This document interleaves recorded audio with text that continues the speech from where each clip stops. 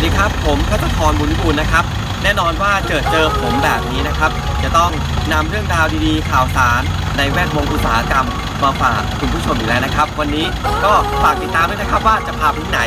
ตามมาเลยนะครับ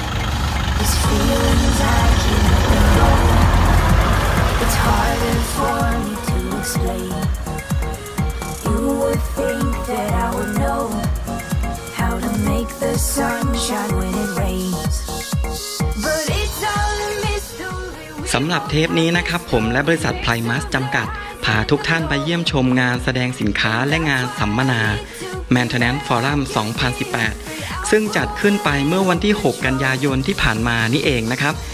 จัดขึ้นที่โรงแรมทลาวดีรีสอร์ทจังหวัดปราจีนบุรี งาน Maintenance Forum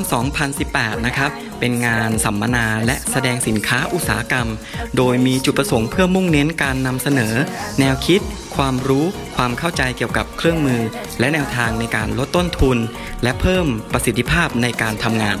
ครบถ้วนด้วยทั้งกระบวนการ เริ่มต้นจากการพัฒนาบุคลากร ให้มีความรู้ความเข้าใจ และนำความรู้ที่ได้จากงานนี้นะครับ ไปประยุกต์ใช้ได้อย่างเหมาะสม ซึ่งจะสามารถเพิ่มประสิทธิภาพในการทำงาน และเพิ่มผลผลิตให้กับองค์กรได้เป็นอย่างดีนะครับ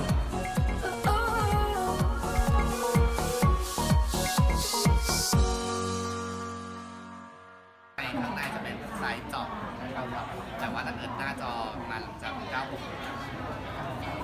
และอีกหนึ่งกิจกรรมก็คือกิจกรรมผู้ประกอบการพบปะกับซัพพลายเออร์นะครับ แลกเปลี่ยนอัปเดตข้อมูล เพื่อส่งเสริมการพัฒนาธุรกิจต่อไปครับ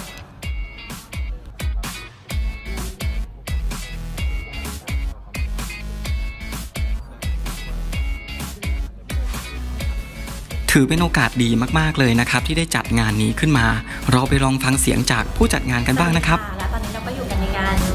สัมมนา Maintenance Forum 2018 นะคะ ก็จัดขึ้นโดยบริษัท Kimber Publication จำกัดค่ะ เราก็จัดงานนี้นะคะเพื่อที่เป็นเวทีแลกเปลี่ยนให้มาพูดคุยเกี่ยวกับพวกอุตสาหกรรมก็คือมีทั้งการจัดแสดงโชว์สินค้า